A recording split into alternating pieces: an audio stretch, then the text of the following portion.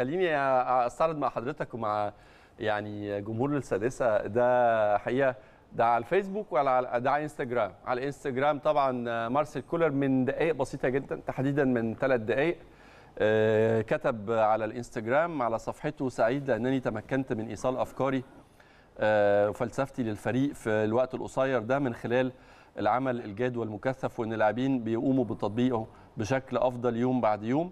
يجب علينا جميعا أن نواصل العمل معا حتى لا نفقد التركيز. من أجل تحقيق المزيد من أهدافنا وطموحاتنا شكرا لكل من ساهم في هذا النجاح. مدرب ناديكم بتوقيع طبعا مارسيل كولر.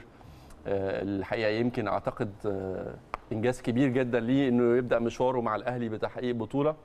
بالتالي برضو بيبقى محتاج المدير الفني يحس بترجمة ال- الشغل بتاعه آه، لنجاح والهدف. تحقيق بطولة وبتديله أريحية بشكل بتخلصه بشكل كبير جدا من أكيد في ضغوط مهما كان اسمه ومهما كان خبرته ومهما كان السي في قوي يا كابتن ماهر لما بتيجي تشتغل في نادي جماهيري وتتحط تحت ضغط جماهير بحجم النادي الأهلي شوية بتبقى عليك نوعا ما ضغوط لما بتحقق أول لقب وبتجيب أول بطولة بترتاح وبتهدى وبتقدر تشتغل كمان بشكل أفضل بعد كده.